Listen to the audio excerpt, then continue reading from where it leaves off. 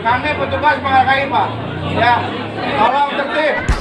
Ya, karena saya hanya pengamanan. Ya, untuk bapak-bapak, ibu dalam pencoblosan selamat.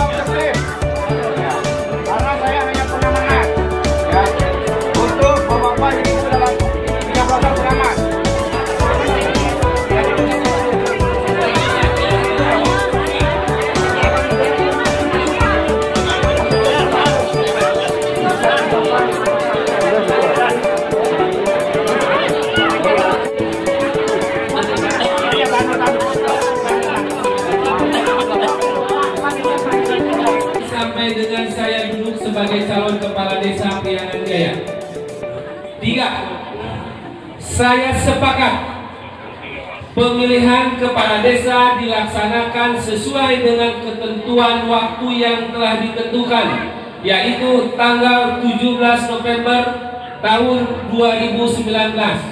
Kepala Desa Priangan Jaya periode 2019-2025. Dengan ini dengan ini menyatakan selama proses pencalonan, masa kampanye, masa tenang sampai dengan hari ha, dengan hari pemungutan suara, saya duduk sebagai calon kepala desa. Tidak ada suatu hal yang merugikan saya baik dari panitia, BPD, pemerintahan desa, kecamatan atau pihak lain.